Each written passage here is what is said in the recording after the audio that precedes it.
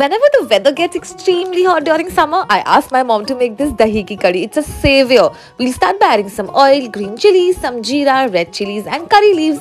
Add in some garlic and ginger, let it sizzle, and toss in the spices. Once the spices are in, it'll cook in no time, especially in the Stahl artisan fry pan because of the uniform heating. We simply need to add the dahi now, mix it together, and tada! It is ready. Enjoy this with rice.